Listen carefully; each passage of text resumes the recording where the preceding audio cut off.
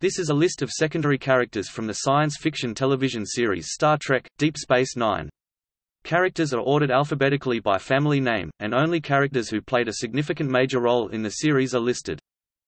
Star Trek – Deep Space Nine was a science fiction television show of the Star Trek franchise that aired between 1993 and 1999, and many of the characters integrate into the wider Star Trek science fiction universe.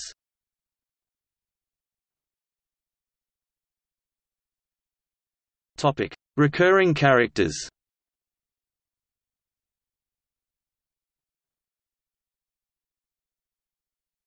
Topic: Bareil Antos. Bareil Antos was a Bajoran Vedek. He was played by Philip Anglim. Bareil becomes romantically involved with Major Kira Nerys of the Deep Space Nine space station. He runs against Vedek Winn Adami for the role of Kai, but is forced to drop out to protect the reputation of the previous Kai, Opaka. Bareil is injured in a shuttle explosion, and Dr. Julian Bashir has to replace his failing organs with cybernetics so that he can continue to advise Winn in negotiations with the Cardassians. His continued efforts in this weakened state cause brain damage, and eventually his death. In the Mirror universe, Bareil Antos is a petty thief who is close to the alternate Kira. He leaves his universe in a foiled attempt to steal an orb.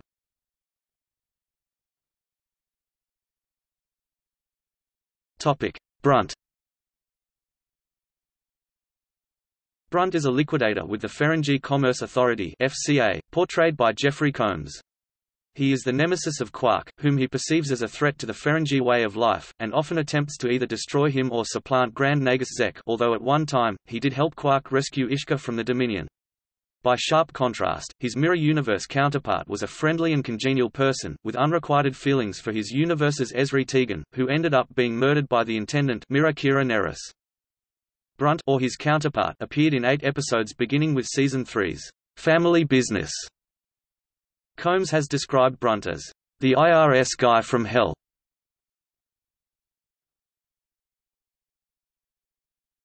Topic: Cretak, Kimara.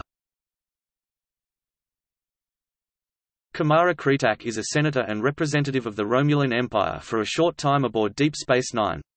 She is accused of treason against the Star Empire and found guilty in the episode, Inter Arma Enim Silent Leges. The ending of the episode leaves her fate ambiguous, with it unclear if she will be imprisoned or executed. Kimara Cretak was first portrayed by Megan Cole in Image in the Sand and Shadows and Symbols, and Adrienne Barbeau in Inter Arma Enim Silent Leges.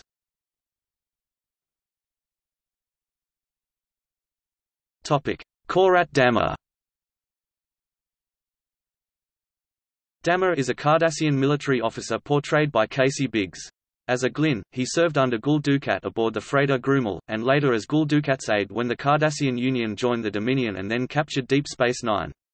Damar discovered a way to disable the Federation's self-replicating mines, which had been preventing the Dominion from sending reinforcements from the Gamma Quadrant through the Bajoran wormhole, and was recommended for promotion to the rank of Gul. As the Federation retook the station, Damar learned that Tora Ziyal had been helping Kira and others undermine him and promptly killed her. This earned him personal enmity from Kira. After Dukat's subsequent mental breakdown following his daughter's death, Damar was promoted to first Gul and then Legate. As leader, he learned that the Dominion was merely using the Cardassians as pawns in its effort to conquer the Alpha Quadrant, so he switched sides and encouraged his people to fight the Dominion. As leader of the new Cardassian rebellion, he had to accept Federation aid and advice from a Starfleet advisor, Colonel Kira Nerys, who was given a Starfleet Field Commission of Commander to take on the role. In his struggles as a resistance fighter, particularly when his wife and child were taken and killed by the Dominion, he came to understand the Bajoran perspective during Cardassia's occupation of Bajor. While fighting beside Commander Kira Nerys and Elim Garak in a final push to retake Cardassia Prime, Damar was killed in action. Damar appeared in 23 episodes beginning with Season 4's Return to Grace.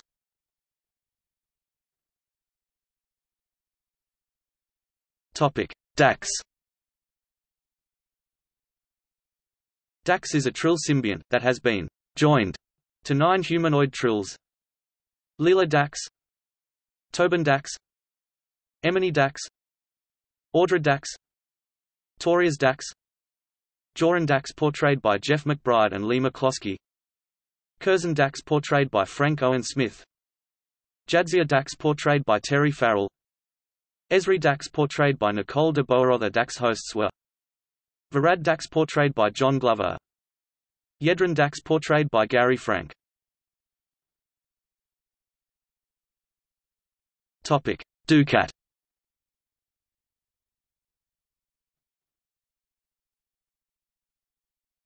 Topic: Eddington, Michael. Michael Eddington was a Starfleet security officer holding the rank of lieutenant commander. He was stationed on Deep Space Nine by Starfleet due to their lack of complete trust in Odo. Following orders from a Starfleet admiral, he sabotaged the Defiance cloaking system when Captain Sisko defied orders by taking the ship on a mission to the Gamma Quadrant. On another occasion he was instrumental in helping recover the command staff when, while beaming back to the station, their neural patterns were stored in the station computer and their physical forms were placed in a holosuite program. He later defected to the Maquis after working for them to steal several industrial-grade replicators destined for the Cardassian Union. He likened himself and Sisko to characters from Les Miserables, Jean Valjean, and Javert, respectively, but was eventually captured and imprisoned. He was later killed while fighting alongside Sisko in a successful attempt to rescue survivors of a Maquis colony from the Dominion. Michael Eddington was portrayed by Kenneth Marshall, appearing as a semi-regular in the series beginning with Season 3's The Search, Part 1. In 2016, the character was ranked as the 77 ND most important character in service to Starfleet within the Star Trek science fiction universe by Wired magazine.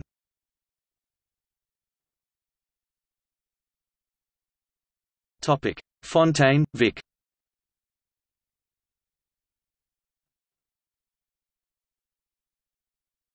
Topic: Garak, Elim.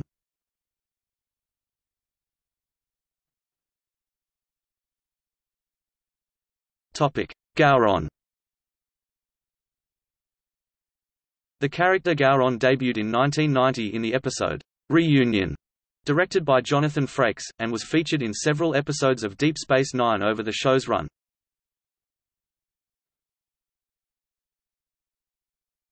Topic: Ishka.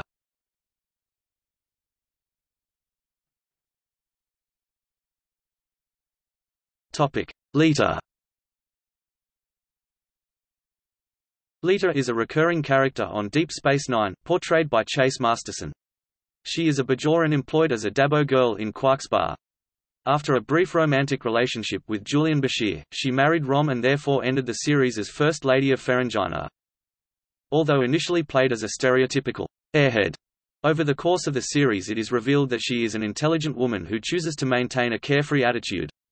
She is a ringleader when Quark's employees attempt to start a trade union, and also volunteers to play temporary host to one of Jadzia Dax's former personalities.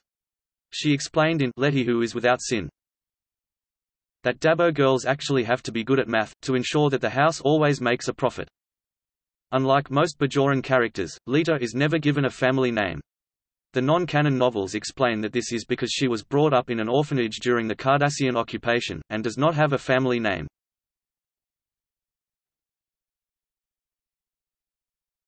Topic: Martok.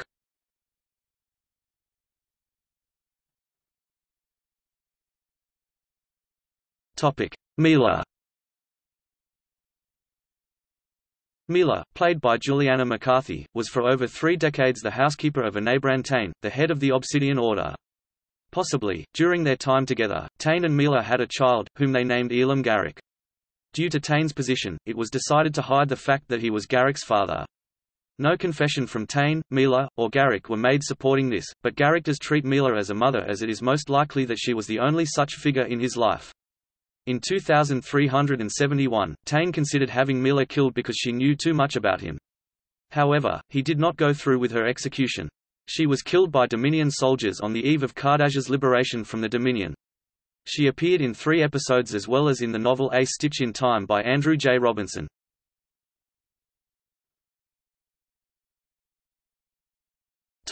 Dr. Mora Pol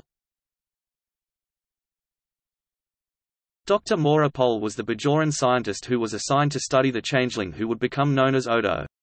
Dr. Mora studied and taught Odo at the Bajoran Center for Science during the occupation of Bajor from 2358-2365.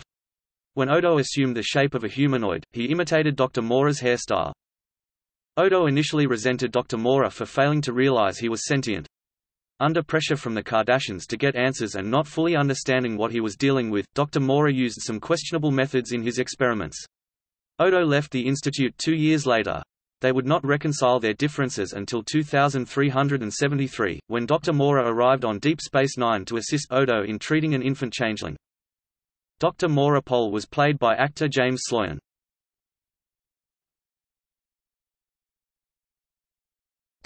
Morn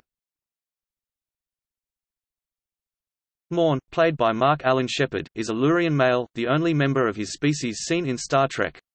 Morn is a frequent customer in Quark's bar, often present in the background of scenes there.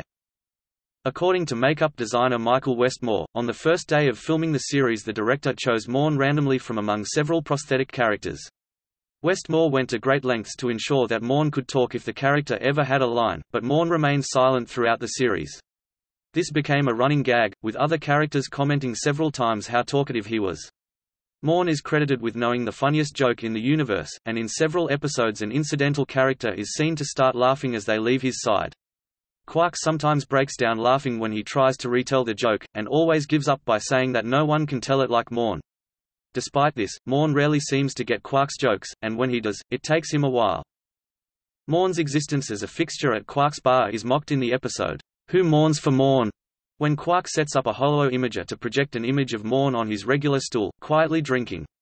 No one realizes that it is not real until Sisko and Dax run into the bar to let people know that Morn died.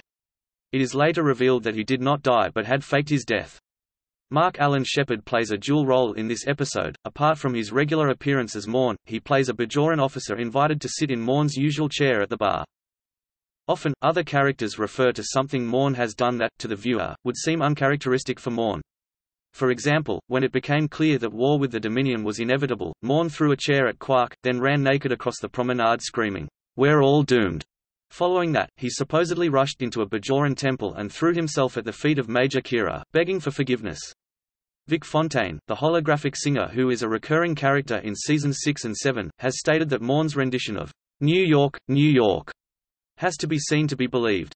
Lieutenant Commander Worf claimed that Morn was a formidable sparring partner, and the pair fought in the holosuites on a weekly basis. Jadzia Dax also said she had nearly become romantic with Morn, except that Morn turned her down. Very little is revealed about Morn or his species on the show.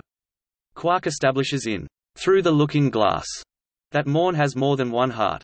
In The Way of the Warrior, it was implied Lurians are usually found near the Iodite Nebula. A hostile Klingon suggested it was suspicious to find Morn so far from there. It was revealed in the episode, Who Mourns for Morn? that he had been previously involved in some criminal activities, the most notable being a robbery in which his crew stole 1,000 bricks of gold-pressed latinum. Like all Lurians, Morn has two stomachs. Quark realized that he had extracted the liquid latinum from the bricks and was storing it in one stomach, causing his hair to fall out. Morn regurgitated 100 bricks worth and gave it to Quark as a reward for helping to get the other thieves arrested. Morn also appeared in the Star Trek, The Next Generation episode, Birthright, Part 1, and made a cameo in the Star Trek, Voyager episode, Caretaker. Because of these appearances, this has made Morn one of the few characters to appear in three of the Star Trek series, alongside Quark who appeared in TNG, DS9, and Voyager, Commander Riker TNG, DS9, Riker's transporter clone, Voyager, and Enterprise, Deanna Troi TNG, Voyager, and Enterprise, Kang the original series, DS9 and Voyager, and Q TNG, DS9, and Voyager.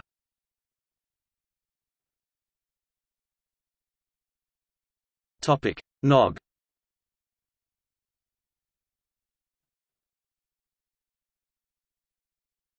Topic: O'Brien, Keiko. Keiko O'Brien, born Keiko Ishikawa, is played by Rosalind Chao. She is a professional botanist and the wife of Miles O'Brien in both The Next Generation and Deep Space Nine. Keiko married Miles O'Brien aboard the USS Enterprise D in the TNG episode, Data's Day. A year later, temporarily stuck in 10 Forward, she gave birth to a daughter, Molly, with Worf as midwife TNG episode, Disaster. Shortly after arriving at Deep Space Nine, Keiko decided to start a school. Jake Sisko and Nog were the first students to enroll. Later, Keiko went on a botanical expedition to Bajor when pregnant with her second child. An accident endangered mother and child on the way back to DS9. Dr. Julian Bashir saved them both by removing the fetus and implanting it into Kira Nerys' womb. In her honor, the child was named Kirayoshi. When the Dominion War began, Keiko and the children were evacuated from the war zones. They remained away for a time until the fields of battle had shifted far enough to make Deep Space Nine safe again. After the war, the O'Brien family relocated to Earth when Miles became an instructor at Starfleet Academy.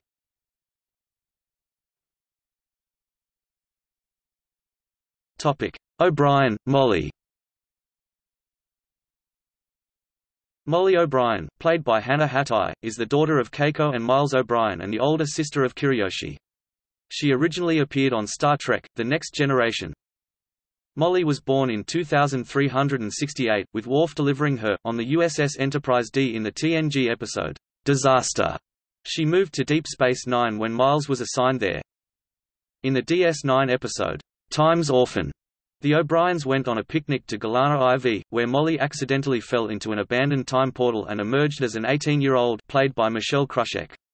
From her point of view, she had experienced approximately 10 years of solitary existence. Back at Deep Space Nine, she was wild and uncontrollable, unable to cope with life on the space station. After a violent altercation in Quarks, Starfleet officials intended to place her in a mental health institution. The O'Briens returned to Golana IV, hoping to send Molly back through the time portal to the place and time she had become accustomed to, preferring her happiness over a possible lifetime of confinement.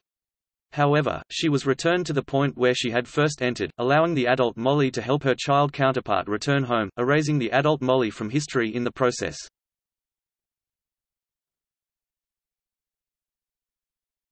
Topic: Opaka Sulan Opaka Sulan, played by Camille Saviola, was the Kai or spiritual leader of the Bajorans through the latter years of the Cardassian occupation and the first few months after it ended in 2369. Opaka recognized Benjamin Sisko as the long-awaited emissary of the prophets, although he did not return her enthusiasm. In response to a prophetic orb experience, Opaka left Bajor for the first time to pay an unannounced visit to DS9. Journeying with Sisko and Kira through the wormhole, she was killed in a runabout crash on the Ennis Penal Moon, and was then resurrected by the artificial microbes present there. The microbes were specifically designed to only work on the Moon, forcing her to stay behind. She took this as an opportunity to help end the prisoners' fanatical clan war. During the Cardassian occupation, Opaka had been a collaborator, she gave away the whereabouts of a rebel base and her son was killed in the subsequent attack. The Cardassians had threatened to destroy some Bajoran towns so by betraying the rebels including her own son she saved thousands of Bajoran lives.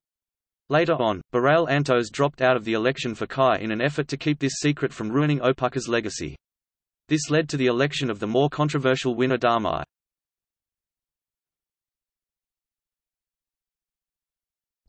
Rom Quark's brother, father of Nog Topic: Ross, William J. Vice Admiral William J. Ross, played by Barry Jenner, was the field commander of Starfleet forces during the Dominion War and was the coordinator of Starfleet's defense of the Bolian and Bajoran fronts in the early stages of that war. His command post was on Starbase 375, where he was in direct command of the 7th Tactical Wing. During the first three months of the war, Ross was under severe pressure to halt the advance of the Dominion. Ross did this by making Captain Sisko his adjutant, to relieve himself of making minor tactical plans and reports. This action gave Ross the initiative to find the Argolis Cluster Sensor Array. This sensor array was the Dominion's line of sight over all the Bajoran and Bolian fronts at the start of the war. Ross, along with Sisko, planned the attack on the Argolis array and succeeded in the destruction of the array in late March 2374.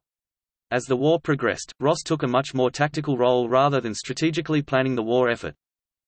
After the First Battle of Chintoka, Ross was posted aboard Deep Space Nine to command the Allied forces presently hemmed in at Chintoka. It was later revealed that Ross was one of the few Starfleet personnel to know of the existence of Section 31. Although he collaborates with Section 31 in one of their operations, like Julian Bashir he staunchly maintains that he is not a member of the organization. During the Battle of Cardassia, Ross led the Starfleet wing of the assault fleet. He devised the planned assault on Cardassia and, soon afterwards, presided over the signing of the Treaty of Bajor at which he gave a speech to the delegates. Ross appears in 12 episodes beginning with the season 6 episode, A Time to Stand. In 2016, the character of Admiral Ross was ranked as the 41st most important character of Starfleet within the Star Trek science fiction universe by Wired magazine.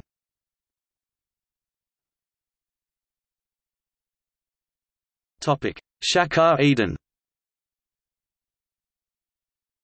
Shakaar Edon was a resistance leader, farmer, and later First Minister of Bajor. He was played by Duncan Regehr. A one-time farmer in Bajor's Dahkur province, Shakaar returned to his fields in 2369 after 25 years of fighting the Cardassian occupiers, only to enter politics as his world's secular leader in 2371. As the head and namesake of Kira's resistance cell, he agreed to let her go on her first raid at age 13 to fill in a vacancy in the ranks, and reteamed with her years later during a near-violent showdown with Kai Winn over the return of promised soil reclamators. After that encounter, and the support he received for his handling of it, Shakaar handily won the position as Bajor's second post-occupation First Minister, defeating acting Minister Winn in an election. As he works with Kira in her role of senior Bajoran on DS9, Shakaar realizes he has fallen in love with her and they begin a relationship. He successfully pushed to fast-track Bajor's admission to the UFP, but that act was postponed at the last minute by emissary Benjamin Sisko's pagh'tem'far Sacred Vision that it was not the right time. As Shakaar and Kira's affair played out, he had a hard time accepting her carrying the O'Brien's transplanted second child to term after an accident in 2373. Soon afterward, he and Kira part ways romantically, after a visit to the Kendra shrine on Bajor revealed that they were not meant to walk the same path. Kira still respects him as Bajor's best leader. Shakaar is used to death threats and he routinely ignores them, but a true-way alien operative nearly kills him twice during the Federation conference on DS9, first by sending his turbolift car into free fall, and later by almost getting his quarters depressurized. According to Dukat, Shakaar slept with every woman in his resistance cell except Kira, but Dukat's jealousy of the Major should be taken into account.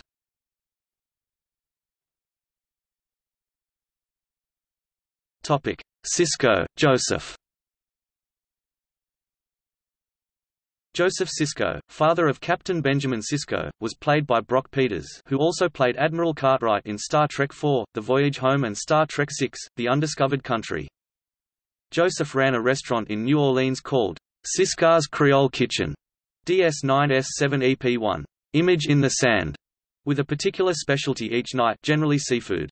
While Nog was at Starfleet Academy, he commuted from San Francisco to dine, as Joseph obtained Ferengi tube grubs especially for Nog. Joseph's grandson, Jake Sisko, often worked at the restaurant, and Benjamin worked there after the Pah-wraiths collapsed the wormhole events of S6EP26, Tears of the Prophets, S7EP1, Image in the Sand, S7EP2, Shadows and Symbols Joseph was first married to a woman named Sarah, but when their son Benjamin was a year and a half old, Sarah left, eventually moving to Australia and dying in a shuttle accident. Joseph remarried soon after, and Benjamin and his stepmother had such a close relationship Joseph could not bring himself to disclose the truth to his son, that Sarah was, in fact, a prophet that took physical form. This discovery was made by Benjamin and Jake in the episodes, "'Image in the Sand' and "'Shadows and Symbols' Though Joseph Sisko does eventually reveal to Benjamin the truth about Sarah, he vows to take his gumbo recipe to the grave.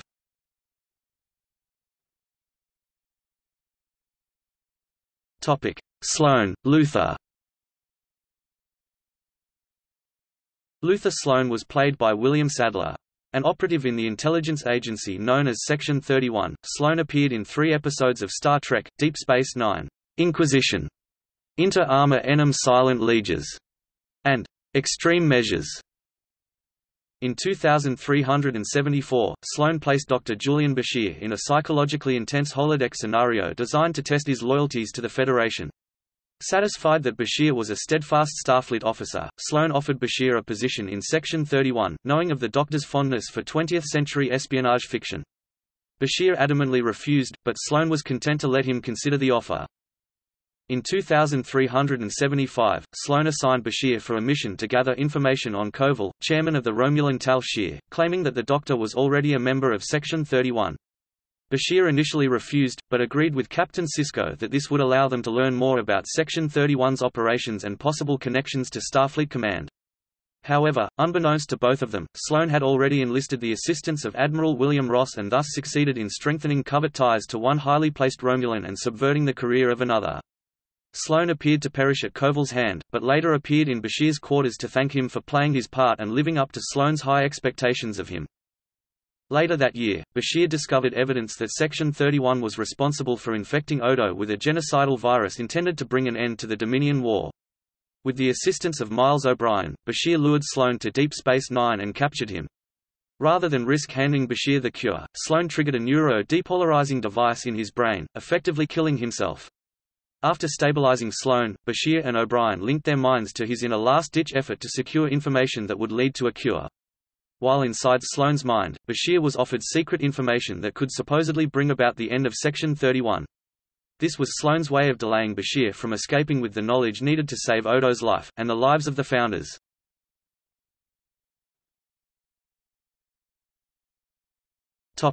Solbor Solbor was played by James Otis. Solbor was a Bajoran and an assistant to Kai Winn. He was killed by Kai Winn when he threatened to expose Dukat and the Kai's betrayal of the prophets. He appeared in three episodes.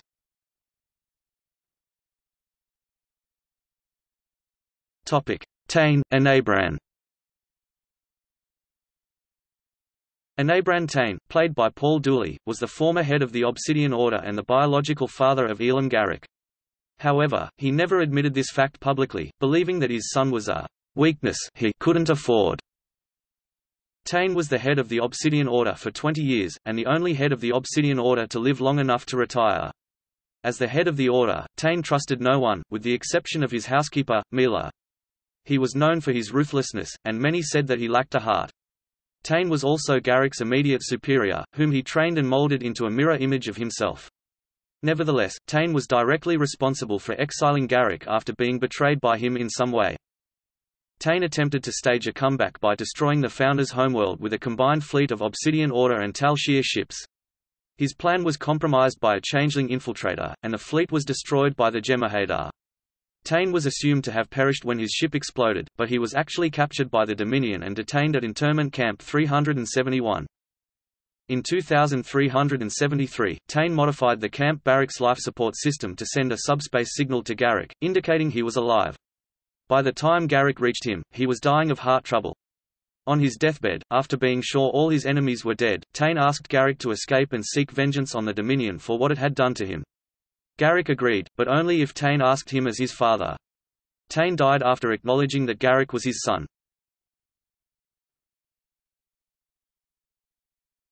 Tora Ziyal Tora Ziyal is the half-Cardassian, half-Bajoran daughter of Gul Dukat and Tora Naprem. She spent most of her early life with her mother, and thus her name is structured as are all Bajoran names with the family name first. Her given name, Ziyal, is a popular Cardassian name. She was played by Cyia Batten in Indiscretion and Return to Grace by Tracy Middendorf in the episode For the Cause, and by Melanie Smith, over six episodes from Season 5's In Purgatory's Shadow to Season 6's Sacrifice of Angels. Ziyal was first introduced in the Season 4 episode Indiscretion in this episode, Gul Dukat accompanied Kira Nerys to the crash site of the Cardassian prison transport Ravinok. On the crash site in the Dozaria system Kira found out Dukat went along because his mistress Tora Naprem was aboard the Ravinok. They discovered the grave of Tora Naprem, and Dukat confessed Tora Naprem and he had a daughter, Tora Ziyal, who was also on the transport.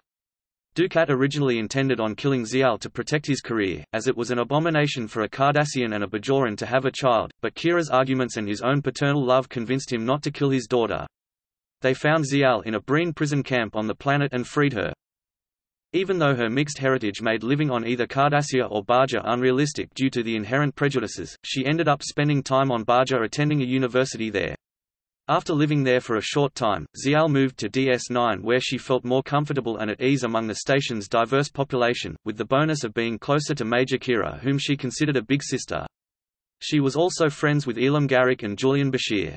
She briefly evacuated to Bajor after the Cardassian, Dominion troops reclaimed DS9 Terek Nor from the Federation but eventually returned to be near her father Gul Dukat and her close friend Kira Nerys. After she came to realize what type of man her father really was, she agreed to help Quark liberate Rom, Kira, Jake and Leeta from prison. They had been imprisoned for attempting to sabotage the Cardassian, Dominion forces' planned disarmament of the Federation minefield around the wormhole, which was preventing the Gamma Quadrant's Dominion reinforcements from entering the Alpha Quadrant season 6 episode, Sacrifice of Angels. While her father was attempting to convince her to flee the station and return to Cardassia with him before the Federation troops retook the station, she was killed by Gul Dukat's first officer Damar after he overheard her confession to her father about having helped free the new resistance members. Dukat underwent an immediate and near catatonic mental breakdown after witnessing his daughter's death right before his eyes.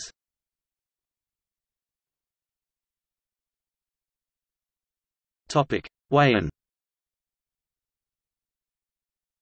Dominion Vorta character played by Jeffrey Combs, debuting in To the Death, broadcast May 13, 1996. Topic: Winn Adami Kai Winn Adami held the title of Vedek during the Cardassian occupation of Bajor, and claimed to have been beaten for her religious teachings. She had a contemptuous attitude toward Bajorans who fought in the underground resistance cells, because she felt she did not get proper credit for helping to fight for Bajor's liberation. She was played by Louise Fletcher. Winn makes her first appearance objecting to the teachings of Keiko O'Brien in the Deep Space Nine school, in the episode, In the Hands of the Prophets. In particular, she objects to Keiko's teaching of only the scientific information about the Bajoran wormhole, instead of teaching the religious mythos regarding it. Winn views the science-based teachings as blasphemy, and eventually her influence results in all of the Bajoran students being pulled from the school. Later, a bomb is detonated inside the school. Commander Benjamin Sisko meets with Vedek Bareil on Bajor and asks him to reprimand Winn before she stirs up more violence, but he declines to enter into the conflict. Winn also directs one of her supporters to assassinate Bareil, who is Winn's chief rival in the Vedek Assembly. The failed assassination attempt is made during a speech Bareil is giving calling for an end to conflicts over the school. Winn's involvement, although suspected by Major Kira Nerys, is never proven. Ever the ambitious opportunist, Winn later aligned herself with an extremist group called the Circle, the Circle's goal was to eliminate all external influences from Bajor, including the Federation, which would have served Winn's purposes in getting rid of Commander Sisko, whom she resented as the emissary of the Prophets. The reward for her support would have been the guarantee of becoming Kai. Eventually it was discovered that the Circle was actually being supplied by the Cardassians. Major Kira managed to sneak into the council chambers and presented the evidence to the Council of Ministers. When Kira announced she has the thumb scan of a Cardassian Gul signing off on a shipment of weapons to the Kressari, who in turn sent them on to the Circle, Winn immediately changed sides telling Minister Jaro that if he truly believes the Cardassians were not supplying the weapons, he should not mind an examination of the evidence. In the episode, The Collaborator, the election for the next Kai approaches. Winn seeks out and obtains information about the Kendra Valley massacre, which she uses to manipulate Major Kira into investigating Vedek Bareil Antos, who is in a relationship with Kira at the time. Ultimately, Bareil is forced to withdraw, resulting in Winn's election as Kai. Although Bareil is later proven innocent by Kira, he chooses not to reveal the truth, which is that Kai Opaka had actually been responsible for the massacre, a move that resulted in 43 deaths, including that of her own son, but which had saved thousands of other Bajoran lives. Over the years, Bareil faithfully kept the secret to protect the Bajoran people and preserve their religion. When the first minister of the provisional government dies, Winn gets herself appointed to the political office, and tries to reclaim soil reclamation equipment developed by the Bajoran Agricultural Ministry and loaned to a group of farmers. She wants to have it used to reclaim soil for cash crops for sale off-planet, while a group of farmers led by Shakaar, a former resistance leader, are trying to reclaim soil to produce food for Bajor. Shakaar and his people had been promised the reclamators, but Winn, now leading the government, reneges on the previous leadership's promise. A brief insurrection, with Shakaar's people preparing to fight security forces sent out by Winn, results in the security force leader and Shakaar burying the hatchet. Shakaar challenges Winn for the position of First Minister in the upcoming election. Throughout her service as both Vedek and Kai, Winn always proved to be selfish, arrogant, and power-hungry. She would do anything, and betray anyone to advance her own career and agenda. She is also jealous of other people receiving visions from the prophets, especially the alien, Sisko the emissary. In the final days of the Dominion War, Winn finally received what she believed to be a vision from the prophets, who tell her that a guide will soon appear to her. In reality, this vision was from the Pah Wraiths, and the guide was Gul Dukat, who had been surgically altered to look like a Bajoran. Dukat and Winn soon became lovers, and he convinced her that to restore Bajor, she must release the Pah Wraiths, who he claimed were the true prophets of Bajor. To do this, Winn obtained the Kost Amojan, a forbidden text, but found that the pages were blank. Her servant Solbor discovered what she and Dukat were planning. He revealed Dukat's true identity and threatened to expose them. As Winn killed him to prevent this revelation, a drop of blood fell from the knife Winn stabbed him with, and onto the blank pages of the Kost Amojan, revealing the text. Later when Dukat attempted to read the Kost Amojan himself, he was blinded the text could only be read by the Kai, and cast out onto the streets by Winn. After studying the text, Winn discovered there is only one way to release the Pah Wraiths from the fire caves and hesitantly allowed Dukat to rejoin her. Back on Deep Space Nine in Vic Fontaine's Holosuite program, the Prophets send Sisko a premonition about a dangerous situation on Bajor. In the series finale, What You Leave Behind, and after the Battle of Cardassia, Sisko traveled to the fire caves on Bajor to confront Winn and Dukat. While Dukat and Sisko fight, Winn realized she has made the wrong choices and that she had been blinded by her own ambitions. In an effort to correct all that she had done and redeem herself, she attempted to throw the Book of the Pah Wraiths into the fire and destroy it. Before she could do so, Dukat disintegrated her using powers given to him by the Pah Wraiths.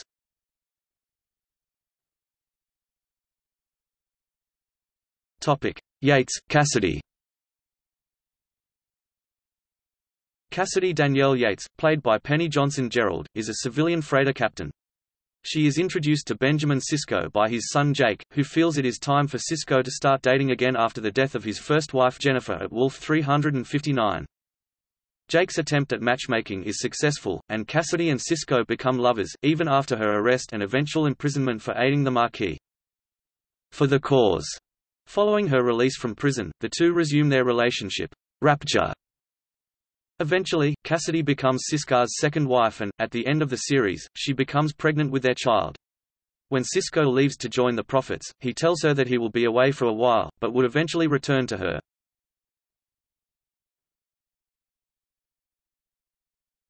Zek Zek was the Grand Nagus of the Ferengi Alliance throughout most of the 24th century. He is played by Wallace Shawn. Zek attempted retirement shortly after the discovery of the wormhole near Bajor. He arrived on DS9 and during a business meeting announced Quark would be his successor, and then appeared to have died. Eventually it was discovered that Zek faked his death by entering into a trance his attendant Maihar'du taught him. The whole setup was a test to see if his son Krax was ready to take over, but Krax failed miserably, by trying to seize power assisted by Rom, by attempting to kill Quark instead of acquiring it quietly. The proper approach was to learn all the favorable deals and assume power by subterfuge and cunning, in keeping with Rule of Acquisition number 168. Whisper your way to success. Zek visited the Bajoran prophets within the wormhole in an attempt to gather information about the future which he could use to increase his profits. Instead, the prophets devolved Zek's personality to that of a proto-Ferengi, before his people had dedicated their lives to the acquisition of wealth. During his time in this state, Zek made many radical reforms to his people's laws and government directing his people away from their greedy ways, including reformatting the long-standing Ferengi rules of acquisition. He was eventually changed back and his reforms nullified after Quark appealed to the Prophet's fear of interaction with other corporeal life forms that might come to their domains to investigate the change. DS9. Prophet motive during a Tongo tournament on Ferenginar, Zek received a tip from Ishka, the mother of Quark and Rom, which helped him make a comeback to win the tournament. They eventually fell in love and were briefly broken up by Quark at the prodding of Liquidator Brunt, who was plotting to succeed Zek as Nagus. The effort failed, Quark became aware of the plan, stopped Brunt's takeover and got Zek and Ishka together again. DS9. Ferengi Love Songs Zek, suffering from failing memory, bequeathed all his financial dealings to the financially brilliant Ishka, eventually caving into her not-so-subtle prods for female rights. He was once again deposed, this time by Brunt, after he amended the Ferengi constitution to allow females to wear clothes in public. He was reinstated after the populace learned of the new and exciting business opportunities such reforms would pave. Under Ishka's influence, he further reformed the Ferengi political and economic system into a significantly less capitalist model. Eventually, he and Ishka retired to Risa after naming Rom as his successor.